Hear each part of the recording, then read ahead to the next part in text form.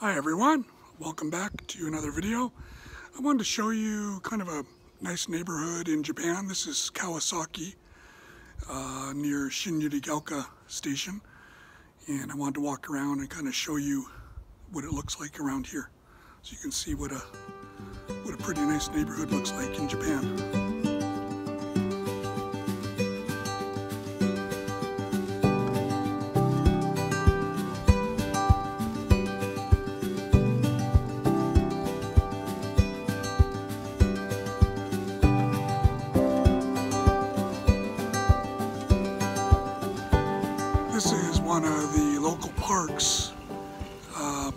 People people stereotype of Japan that is it's really crowded, and it is true. A lot of people live in a small area, but uh, there, there's a lot of green space as well. So I want to show you some of that. So yeah, this this neighborhood reminds me of um, Canada or America. Actually, it really reminds me of Vancouver sometimes. The houses are pretty big and. Uh, uh, the gardens. Gardens aren't so big, but the trees and the flowers remind me of Canada. So, yeah, I will show you some more.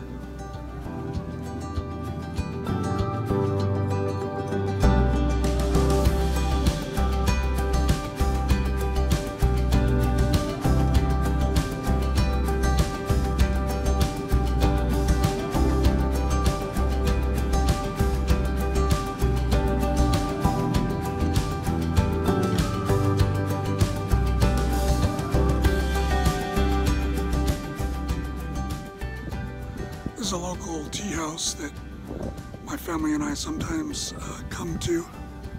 And uh, yeah, it's just a nice little place to relax. You find a lot of these little places in neighborhoods. Not in the downtown, but amongst the houses, so it's kind of fun. You can go somewhere nearby.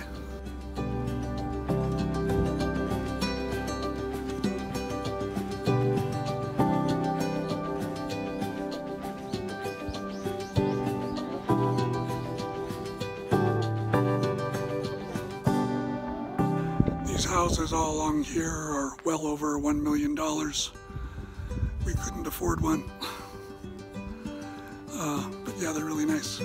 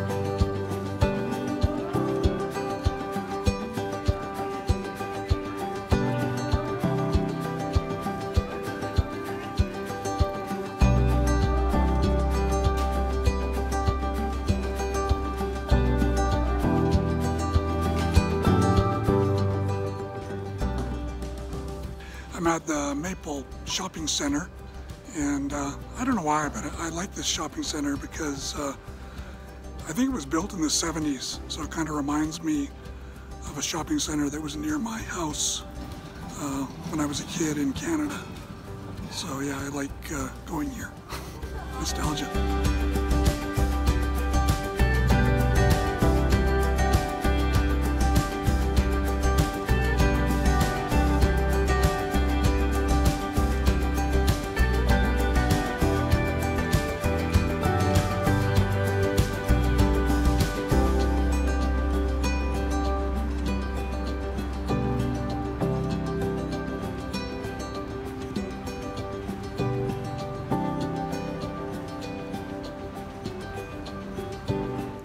So this is the downtown area of Shin-Yurigaoka.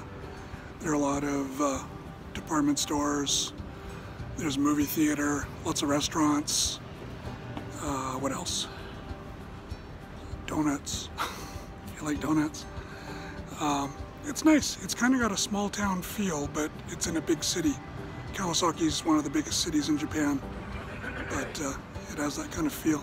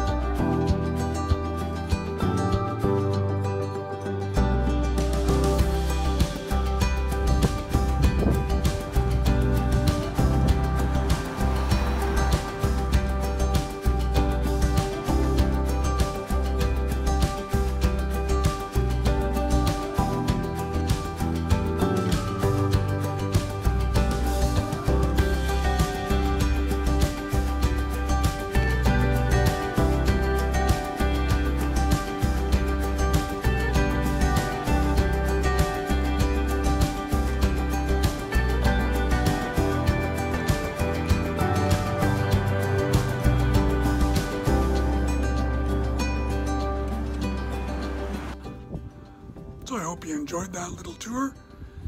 And if you did, please hit subscribe if you haven't yet. And maybe like my video if you could. And I'll see you in the next one. Thank you for watching.